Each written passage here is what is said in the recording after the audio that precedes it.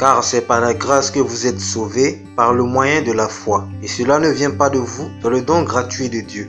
Éphésiens chapitre 2 verset 8. Et mon juste vivra par la foi. Mais s'il se retire, mon âme ne prend pas plaisir en lui. Hébreu chapitre 10 verset 38. C'est donc par la foi que le chrétien est sauvé et c'est par elle qu'il vit désormais. S'il arrive que celui-ci perde la foi, il devient un chrétien mort, c'est-à-dire que le Saint-Esprit l'a quitté. Aussi nous pouvons lire, tu crois qu'il y a un seul Dieu, tu fais bien. Les démons le croient aussi et ils tremblent. Jacques chapitre 2 verset 19.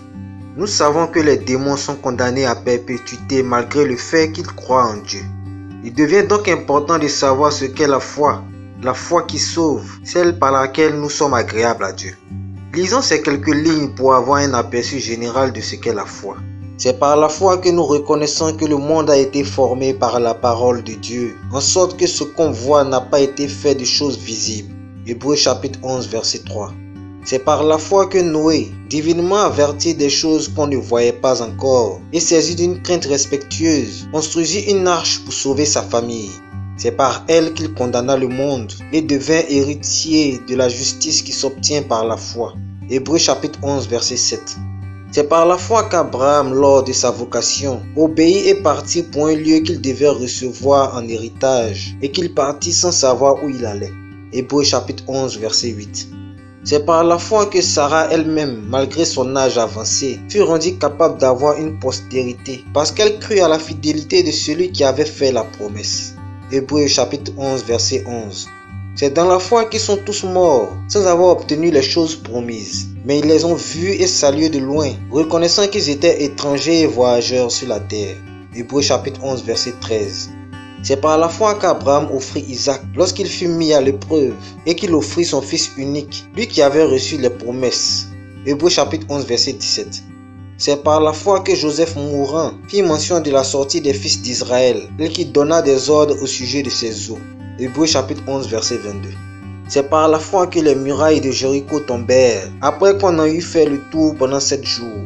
Hébreu chapitre 11 verset 30 qui par la foi vainquit des royaumes, exerçait la justice, obtint des promesses, fermait la gueule des lions, éteignit la puissance du feu, échappait aux tranchants de l'épée, guérir de leurs maladies, fut vaillant à la guerre, mit en fuite des armées étrangères. Des femmes recouvraient leur mort par la résurrection. D'autres furent livrés au tourment et n'acceptaient point de délivrance afin d'obtenir une meilleure résurrection. D'autres subirent les moqueries et le fouet, les chaînes et la prison. Ils furent lapidés, sciés, torturés. Ils moururent tués par l'épée. Ils allaient ça et là vêtus de peau de brebis et de peau de chèvre, dénués de tout, persécutés, maltraités. Hébreu chapitre 11 versets 33 à 37. Nous voyons que par la foi, certains ont vécu des moments heureux, glorieux, victorieux, tandis que d'autres ont supporté toutes sortes de souffrances et même sont morts de manière atroce au nom de celle-ci. Aussi nous lisons ici. Or, sans la foi, il est impossible de lui être agréable, car il faut que celui qui s'approche de Dieu croit que Dieu existe et qu'il est le rémunérateur de ceux qui le cherchent. Hébreu chapitre 11 verset 6. Pour être agréable à Dieu, il faut donc croire que c'est lui qui est à l'origine et à la fin de toutes choses, et aussi croire qu'il a la pleine capacité d'accomplir ses promesses envers nous. Or, la foi est une ferme assurance des choses qu'on espère, une démonstration de celles qu'on ne voit pas. Hébreu chapitre 11 verset 1.